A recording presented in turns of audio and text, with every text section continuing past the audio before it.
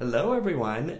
Nealay Patel here at Jesse James Beads, and I am your designer bringing you guys quick, fun, super cool, easy projects, always fulfilling your inspirational needs.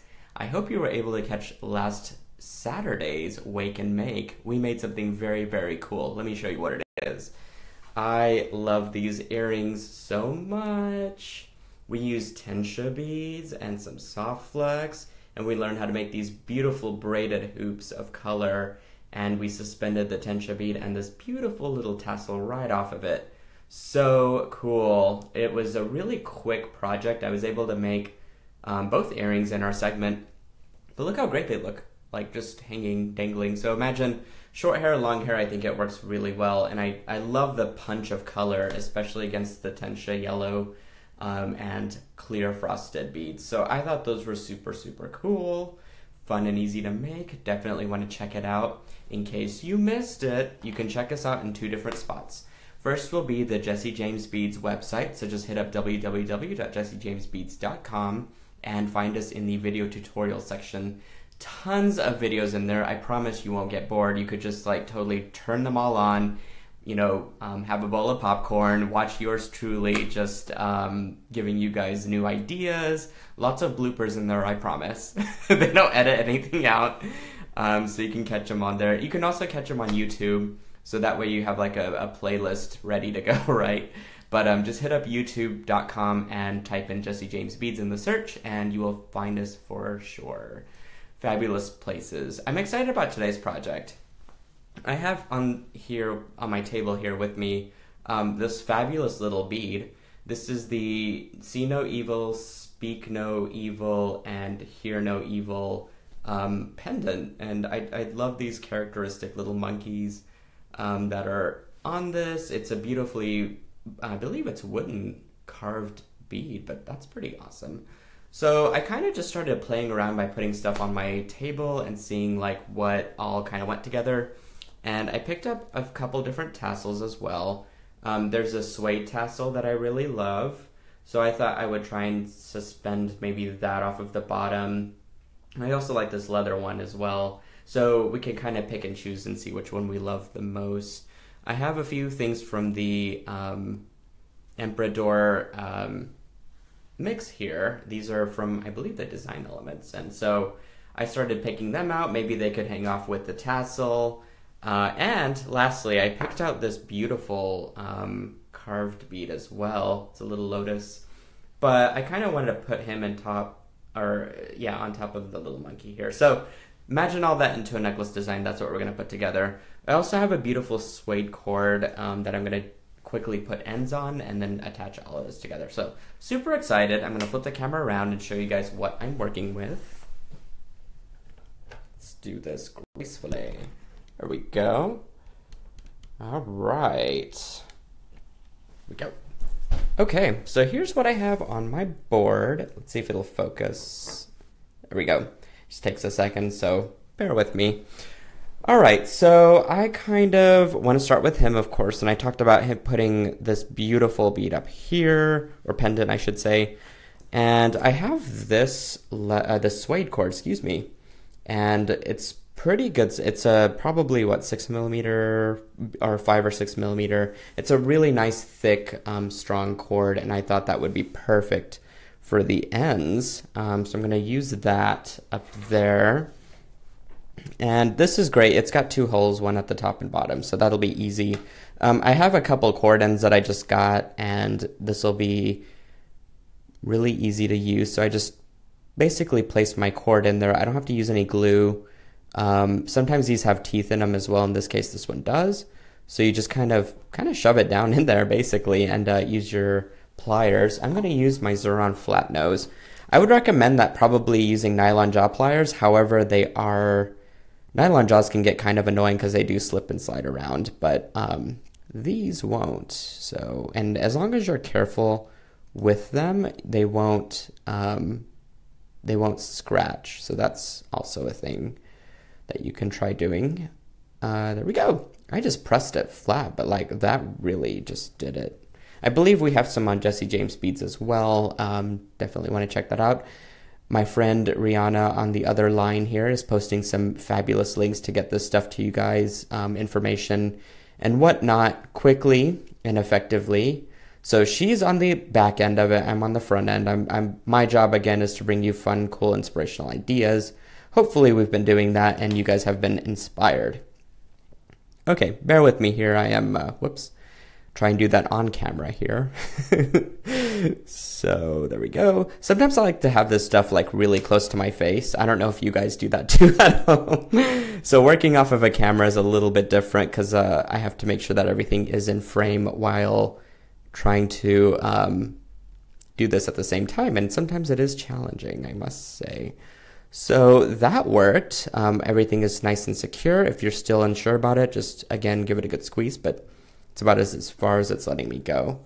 So my cord ends are on, and now I can kind of attach everything that I like.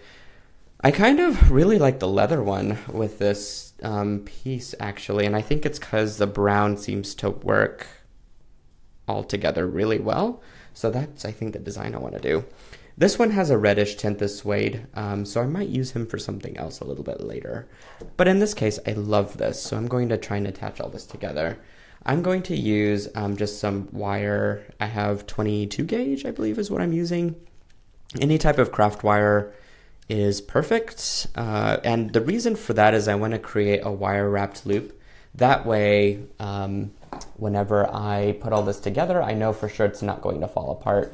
I'm grabbing a pair of pliers currently, trying to look for the right ones. I have a huge box of them now. Oh, there we go. Uh, I'm just going to use my Xuron pliers to give this a trim. The reason I like to use my double flush cutters is because it gives me a super blunt cut there, so it just makes it easier to grasp with um, my tools. But now I want to grab a couple more pliers. Let's see. I can grab my crimper slash chain nose pliers because these are going to be great, and I just need a pair of round nose. So I'm just going to use the ones that I have by Softflex. And um, to make my wire wrap loop, let's see, I want to attach all of this together first. So what I'm going to do is go ahead and work my way down to the cord. I need about a couple inches here to work with, right? So I'm going to go ahead and bend it into a 90 degree angle. And then I'm going to pick up my round nose pliers and I'm going to then grasp it about midways. Actually, I want it a little bit bigger. So these are usually tapered. Um, you can you know, slide it down further and get a bigger loop, which is, I think, what I'm wanting. So I just did that. I have it basically wrapped around there. Now I'm going to lift it up and I'm going to slide in my contents. So I want to start with this guy first. Isn't that just cool? It's a little bobble. It's, I believe, made out of suede as well. So I kind of have like this cool suede thing going. But um, really, a really classy bead, I think. So I'm going to string that guy on first. I'm going to string on this beautiful leather USA tassel. And then I'm going to string on this really fabulous, really different petal um, tassel as well. And I've not seen anything quite like it before, and so I'm really excited to use it this time. So now I'll kind of just pinch everything back loosely, but I'll go ahead and hold it down with my pliers there at the top. And what I'm going to do is just wrap this around. Now I know for sure that this will not um, escape my wire loop. The last thing I need is runaway beads, right? We have probably plenty of those in our inventory as it is, so we do not want that this time. I'm just going to trim that. Whoop, that totally like fell in my lap and then onto the floor, but that's all right. And I'm going to use my chain nose pliers to gently wrap the rest of this around. That might be a little bit much of what I left on, but I think I can grab it and do a quick little coil. Should clean up really well. So I would recommend using 22 gauge soft wire. It just is easiest. It's the easiest to work with. Um, this one happens to be a colored one, and it is a kind of a antique bronze. I think um, would be the closest, but yeah, check it out. All my tassels are all together. Pretty easy. So now I'll just string this guy on, my monkeys, who are giving great advice by the way. This is all this is all we need, right? Maybe, I don't know. Um, I usually don't do any of those, especially when I'm at work because I've got a lot going on. But that's okay. Communication is the key, right? As long as we're not doing anything harmful. I'll basically do a lap, uh, lap, a um, wrap at the top as well. I'm going to make a smaller one actually than I did at the bottom just because I feel like I don't really need, um, especially if I'm just going to insert this guy in, I don't really need too big of a loop. So I'm going to open him up once I've made my loop form and let's see if we can slide this guy in. Depending on if I can pass it through there, maybe. I mean, I might have to make it bigger just because that tip of that is a little bit bigger. So let me just make this bigger, in fact. So again, underestimated, but that's okay. Easy fix. There we go. Just made my loop a little bit bigger. No big deal. Try opening him up again, and I'm just going to slide this back in. Looks like it went in just perfect that time, so now I'll just kind of close it with my fingers, but I do want to grasp it with my pliers. Oh, I'm loving how this is going to come out. I think this is going to make a spectacular design. I like this little pop of red against all these other neutral colors surrounding it. Sometimes that's all it really is. It doesn't need to be technique heavy. You could just have some really smart colors together and make this a very effective design. All right, now I'll just trim it with my Xuron pliers. I can kind of get in there and trim it off. If I get a little bit, I could just break it back and forth sometimes. In this case, I didn't get deep enough of a cut, so do that. There we go. And then I'll just continue to tuck that in with my pliers. Now, here's a good tip. You can actually use the first, um, first notch of these pliers and have it rounded um, I didn't mention that earlier, but I just kind of really just thought of it. so that's something to consider when you're buying these pliers. You're not getting just the chain nose, you're really getting like a multi like purpose plier in my opinion.